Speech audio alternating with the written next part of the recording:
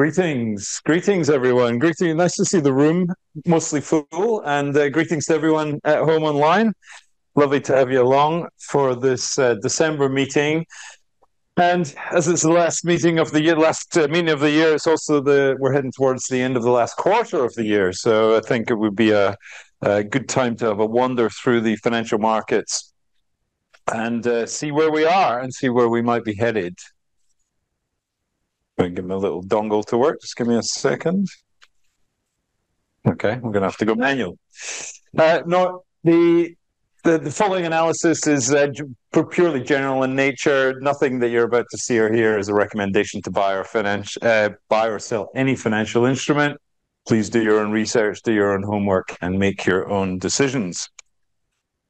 I always like to start with a quote. This time it comes from Jesse Livermore, who says, uh, The obvious rarely happens, the unexpected constantly happens. And that's certainly true for financial markets in general, uh, but as we'll see in a moment, particularly true, I think anyway, for the US mar- uh, stock market, which has been constantly surprising us to the upside, uh, despite all the uh, stories of it, uh, people thinking it's about to fall into oblivion. So, as it's the last one of the year, I always like to also have a look at the very, very long term view of the markets. Uh, so, this is the Dow Jones going all the way back to 1900. And you can see it's very much characterized by these sort of long sideways drifts that it goes through, and then these periodic move up or these trending moves between those various consolidation areas. And we're certainly looks like we're in the third one of these since 1900 at the moment. And you can see that we've done about 500% or so since the bottom of 2009. So that's more or less a third of what those other two large legs have produced, meaning that if we are truly in one of those similar type trending moves, then we could have really uh, quite a long way to go, basically twice as much as we've come already from uh, the bottom of 2009.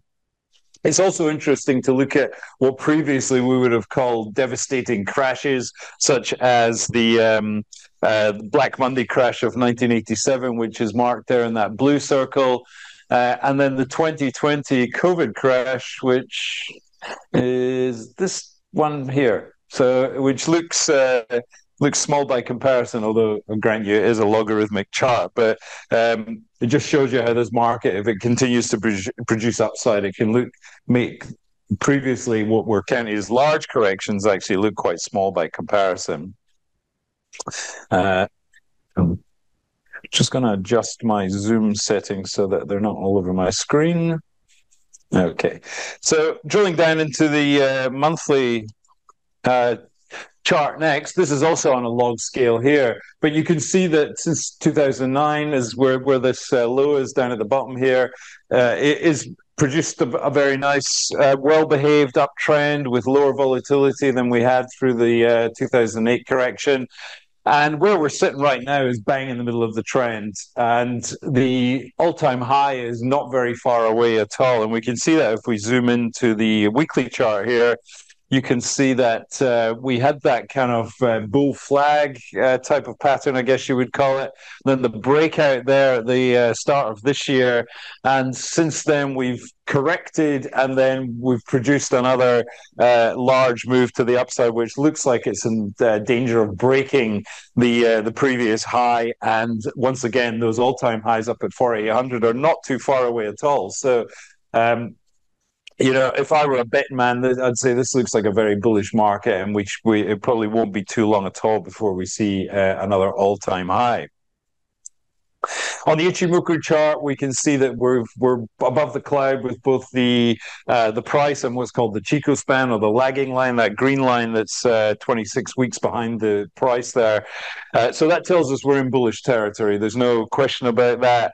Uh, and uh, once again, I think the market probably has got more chance of moving higher than lower at this point. But if it does move lower, the clouds will tend to provide support in that area, which at the moment is sitting around about 4,200 to 4,400.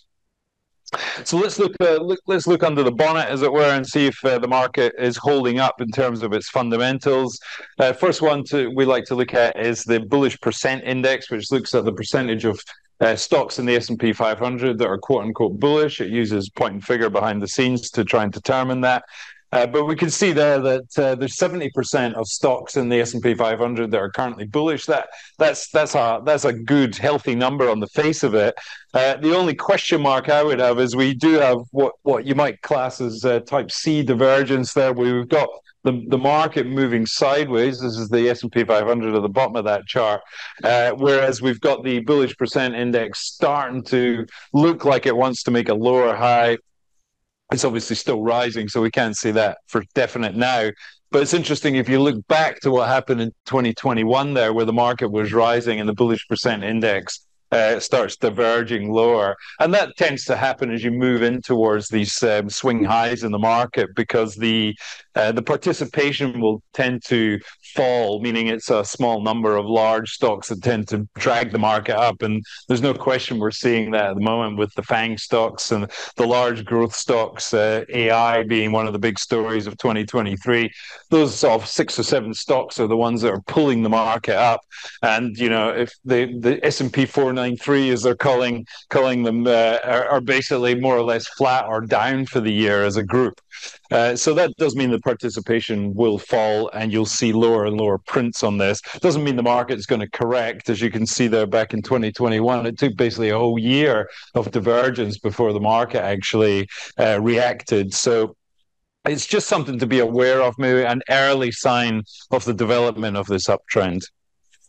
If we look at the uh, stocks above their 200 day moving average, there you can see that uh, it's a lower number here, only about 60%. Again, speaking to that that drop in participation as the market moves higher, and the divergence here is a little bit more pronounced, with the market rising and the uh, uh number of stocks above their 200 day moving average falling uh, over time.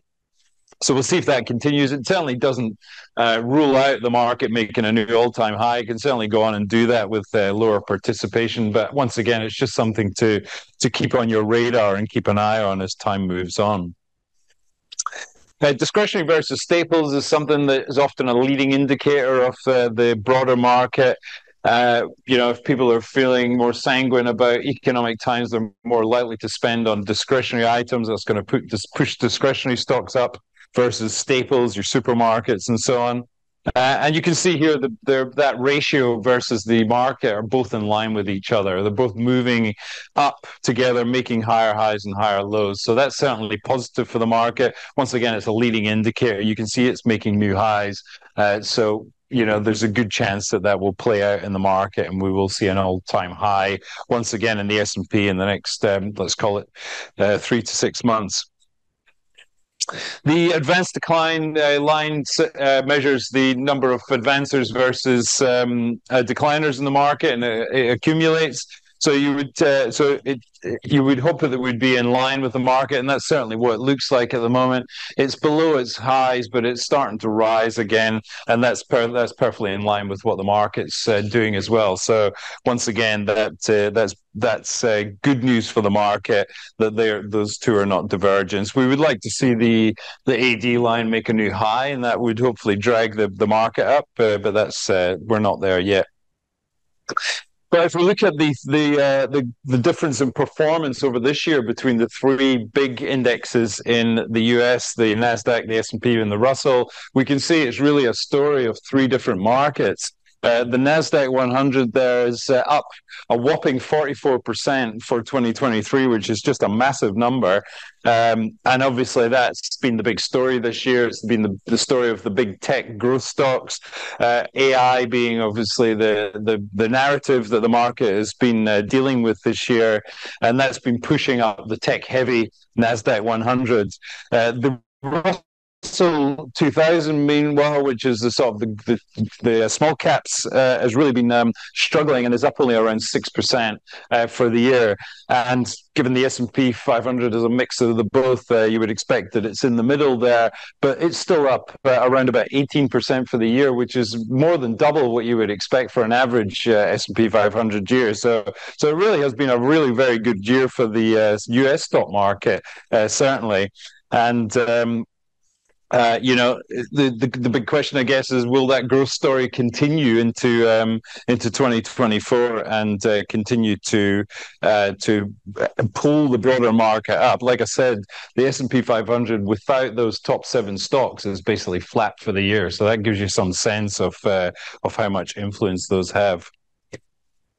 Uh, swinging now to the yield curve, and the red line there shows you where the yield curve is now, which is still in that sort of inverted shape the the shadow lines there though show you where it has been. So you can see there has been a, a gradual fall in um, yields bond yields across the board but your treasury bond yields that is across the board. But uh, what you can see from the shadow lines is the long end of the curve, the right hand side of the curve, is actually falling faster than the short end of the curve, which is barely budged.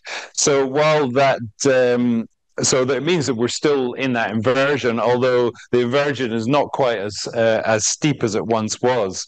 Um, so what does that mean? Well, if we look at that um, one part of that curve, so this compares the 10-year to the two-year spread, the yield that is, um, as a as a just one divided by the other, you can see here that the uh, as the as the line is falling there through 21 and 22, that was the yield curve slowly going from being uh, normal shape to to being inverted. The blue line there is a zero line, so that's where the yield curve is flat.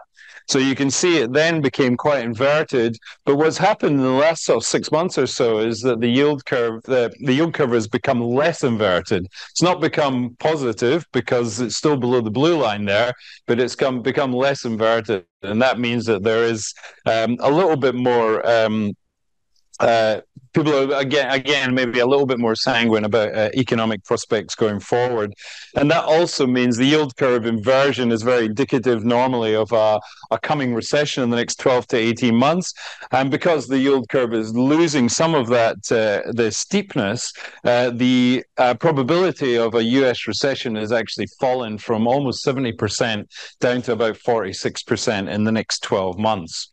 So that's uh, that's an interesting thing to look at if we move on to the sentiment indicators now, the put call ratio uh, is a good one to watch. Uh, measures the ratio of uh, uh, puts to calls in the market. It basically is um, inversely correlated to the, the the index itself. So uh, as this as this rises, that tends to mean the market's falling, and vice versa. but what what what tends to happen is that when it gets to one of those two extremes, then it will tend to revert. Um, it will tend to reverse, uh, and you can see at the moment we're actually more or less in the middle there. It has been quite high, so that was during that corrective phase we saw in the last few months. But now we've come out of that. The put call curve, uh, put call ratio is starting to fall, which means that we are. Um, uh, not really at any risk of being at an extreme one way or the other in terms of highs or lows. The volatility index or the VIX is another interesting one to watch in terms of its sentiment. And what's interesting here was uh, is is perfectly um, uh, it's perfectly normal to consider that the VIX should be low, considering the market is going uh, up. Uh, but what's interesting is that it's so low, uh, and it's not so low on a on a uh, on a very long term basis, but it is quite low in the last uh, few few years. As you can see there, this chart covers about three or so years. And you can see during the last upswing that we had through 2021, the VIX never really got that low, which meant there was still a reasonable amount of uh, fear and hedging in the market through that period, um, which you know, as as turned out, was justified because 2022 was uh, was a uh, poor year for the stock market. But now we're seeing the VIX actually falling, which means um, the, the reason for that is that means there's less demand for uh, VIX futures and S&P 500 options. That means that there's less hedging going on from the institutional players, particularly the portfolio managers, meaning that there is an expectation that the stock market is more likely to rise than fall over the near term. And once again, that's another reason to believe that the uh, all time high might be at risk uh, in the coming months. On to the seasonality, and the, it, we're almost at the end of the year, so I think we can say this has pretty much been a, a match. Uh, we have that uh, upswing through the first part of the year, the the sort of the northern summer doldrums where the market tends to go sideways, and then we've got the so-called Santa Claus rally in towards the end of the year. Uh, and so it's it's been a more or less a, a, a perfect match for the the what we would expect to happen in a normal uh, S&P 500 year on the presidential election cycle, which is uh, which actually tracks the Dow around the S and P 500. It's also been more or less a match as well. You can see there the, the trend up through the so first two thirds of the year, the correction down into November, and then the Santa Claus rally up towards the end of the year. And again, once again, that's been um, near enough a perfect uh, match for that cycle. So um, so always good to um, always wise to keep your eye on what the cycles are doing. Uh, on Calvert Clark's pressure chart for 2023, he had December as the strongest month of the year, and that seems to be uh, playing out so far. Uh, this, uh, the, well, I mean, we're only into the first week, so we can't really say that for certain. But um, but given the strength that the market seems to be showing on a short-term basis, um, I certainly wouldn't be uh, too surprised if uh, December turns out to be the strongest uh, month by, the end of it. And on the Calvert's decade pressure cycle chart, year three is is one of the better up years, and you know certainly that that has that has played out. It's been an outstanding year for the U.S. stock market. Uh, and we move into year four, which uh, which doesn't tend to be quite as strong uh, on his analysis, um, and you know, based on some other cycles as well, year four tends to be uh, much more of a sideways type of year. So, uh, will be interesting to see if that plays out. Um, when we when I do the next one of these, I do one of these every quarter. So when we do the next one, we'll be into a new presidential year, which is the presidential election year. So we'll be able to have a look and see how that plays out. Swinging over to the Aussie stock market now and the monthly chart, and we're having to chat about this uh, before uh, the talk here, and you can see how close we are still to those 2007 highs. The um, the the ASX 200 has been languishing uh, compared to its US counterpart. There's no question about that. Certainly, it suffers from not having those big uh, tech growth stocks in it. That's uh, that's been powering the US stock market. Uh, but it's very much uh, sideways, as you can see there. Broke through the 2007 high a couple of years ago, but it's basically gone nowhere since. It's just bouncing around in that area. If we zoom into the weekly chart, we can see it's kind of stuck in that range between about 68.50 and 78.30, as I've got it marked there. And anytime it reaches one of those two extremes, it seems to uh, find buyers or sellers and reverses back towards the middle of the pattern. So I, I, can't see any resolution on the horizon for this market. It just seems to want to uh, uh, go nowhere fast if we compare its year's uh, its performance on the year to a few of the other Asian and US markets, there you can see it's more or less been in line with what Shanghai did. Hang Seng has done the worst. I've stuck the Indian Nifty 50 in there, which has done reasonably well at around about 12%. Then you've got the S&P up about 18, as we've seen. But the winner, certainly in uh, our time zone, has been the Japanese Nikkei, which has done about 24% for the year. So uh, outstanding uh, there for uh, the Japanese market. On to the currencies, and the US dollar uh, has uh, held for now above that 103 level. You can see it got up about 115 or 118, I think it was. It's pulled back, but it's still holding above that 103, 104 level. Um, the big question will be, you know, if we start to see uh, rate reductions, uh, the Fed, Fed funds rate reduction in the new year, which uh, seems to be the the the um, smart money at the moment. Maybe they start cutting early part of uh, 2024 whether that uh, impacts on the currency. Uh, the uh, US dollar is uh, benefiting a lot from the so called carry trade. They've got one of the highest interest rates in the world of developed economies. So uh, a lot of money is flowing into US uh, dollar to take advantage of that. And that's flowing out of the other currencies. In particular, our own Aussie dollar here has been suffering uh, for quite a while. In fact, uh, 2019, 20, 2020, let's call it, was its uh, last attempt at that 80 cents uh, level, and it's just been kind of dribbling down ever since then. Anytime it tries to uh, poke its head up, it finds sellers, and down it goes again. So it's very much caught up on that carry trade. And I, would not be surprised if we see a revisit of that 60 cent mark. Um, sometime next year, let's call it. Euro's kind of in the same boat. Uh, it's kind of moving a little bit more sideways. It's basically a mirror image of the US dollar. Those two are the, the biggest trading partners uh, in the world. And uh, but it does seem to be coming towards a crunch point. You can see that uh, downtrend line and the 105 level uh, are both coming in to meet each other so it has to resolve one way or another uh, across one of those lines, even if it just drifts uh, more sideways, uh, and that will be the telling. Uh, that that uh, downtrend line, as you can see, has been in place for a very very long time. So if we were to break that to the upside, that would be uh, significant. And of course, below it, we've got parity, which it did duck down below just briefly um, a few months back. So that's that's kind of a floor for it. So again, if it if it broke to the downside, that would also be significant. So keep your eye on the euro.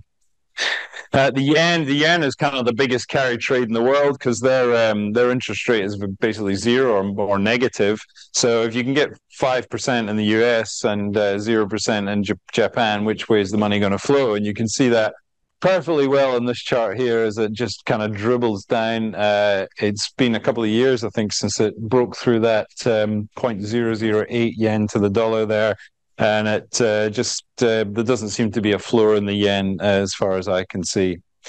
Uh, but the one bucking the trend is uh, not a nation state, but uh, good old Bitcoin, which has just taken off like a rocket in the last few months. the 20K did dip below that 20K so briefly. This is a weekly chart. And um, then it managed to get back above that. It looks like it was a well, let's call it a bear trap there. Um, and then it sort of dribbled around under the 30k mark. And now it's got above that. It's just off to the races and running. And I really can't pick out any sort of meaningful levels of resistance. Maybe the 40, maybe the 50k mark, it might have a rest given it's a big round number.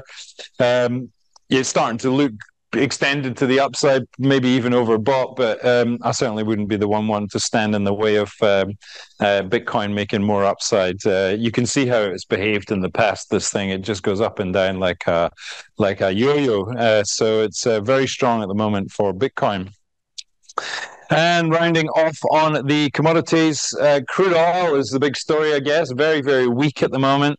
Uh, got uh, above that 85 level for what turned out to be just a few weeks, and you can see it's turned out to be a bull trap this time for the uh, for the buyers of crude. Now it's back below there. It's actually made quite a quick move down to uh, towards that 63 level. I certainly wouldn't be surprised if it gets there in the next few weeks, and then we'll see if uh, 63 uh, manages to hold or whether uh, we see further downside from uh, crude oil gold. Uh, so we were talking about gold earlier. That uh, it looks great on a point and figure chart because it's just gone nowhere, um, and you can see it's very much stuck once again. A bit like the Aussie market, it's stuck in that zone uh, between. Um, sorry, I don't have my glasses on to see the screen here. Between 1620 and 2080 is the uh, range for gold. So uh, so it's just wobbling around in there. Interestingly, this month, which is that last candle there, we're only a week into the month, but you can see it's pierced that uh, that up uh, that that top uh, resistance area, but uh, it quickly found sellers and and they've uh, they've kicked it back into the pattern. So it'll be interesting to see where that ends up at the end of the month and whether we're back down into the pattern or whether it can actually mount a, a breakout from here. On copper, uh, nothing to write home about. Copper, really, it's uh, it, it, sort of blasted through the uh, the top level there, 465, but it sort of dribbled back down, and it's kind of just been stuck in that range between the sort of mid fours and mid threes uh, since then. So copper is obviously a massive story for the the the green uh, the green revolution and uh, green tech and so on. So I'm no doubt, uh, I've got no doubt it's got a big, big future, but in the short term, uh, I think it's uh, suffering a little bit from oversupply. And lastly, on iron ore, well, iron ore has actually made a little bit of a breakout. Uh, you can just see it there, that last candle there. 130 was the resistance level. It's managed to uh, get over there. Uh, although, to be fair, we're not at the end of the week yet, so so that could all change. But uh, if it manages to hold above 130 for uh, two or three weeks, I think there's uh, there's a chance it may go higher. And 160 would be the the target, I think, on the upside for iron ore. So just to summarize that, uh, U.S. stocks are looking very bullish for my money and uh, heading towards that all-time high once again. The Aussie 200 uh, going nowhere fast. It's the it's the train to sideways at the moment. Uh, on the currencies, it's very much the story of the strong U.S. dollar with uh, with those interest rates and the, the big massive carry trade that's um, that's basically beaten up all the other major currencies. And on the commodities, uh, I guess the summary would be oil weak and gold gold very bullish. You can always reach me if you want to send me a note or ask me a question. That's my details there. Follow me on Twitter at Helix Trader. Uh, otherwise, I wish you all the best for 2024. Have a good, uh, good luck, good trading, and bye for now. Thank you.